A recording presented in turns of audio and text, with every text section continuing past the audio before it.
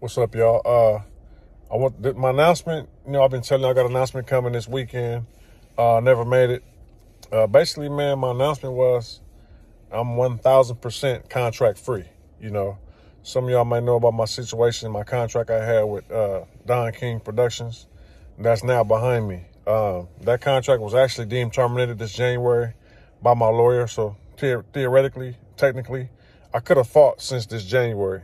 But, you know, I don't really want no problems with, you know, promoters or anybody questioning a contract that hasn't expired yet. So just to just really double down on it, you know, I really want to let this contract just expire total. Even like I say, if it was a big money fight would have came my way, I could have fought.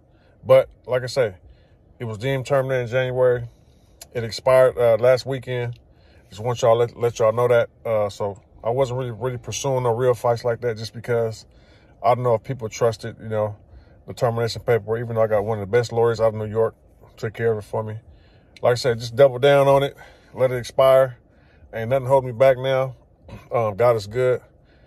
Uh, the wait is over, man. You know, I just been grinding, you know, staying healthy, you know, staying out of jail and staying alive, man. You know what I mean? And um, God is good. Just want y'all to know, um, my true fans and supporters, I ain't going nowhere.